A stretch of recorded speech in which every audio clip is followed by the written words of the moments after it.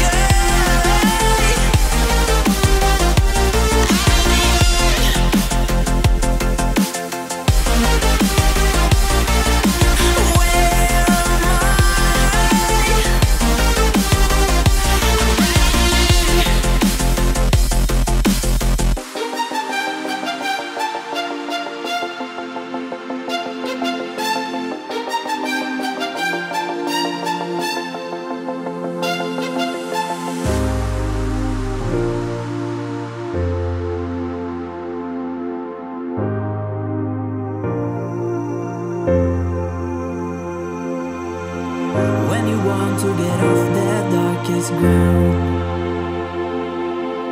But gravity pulls you straight down.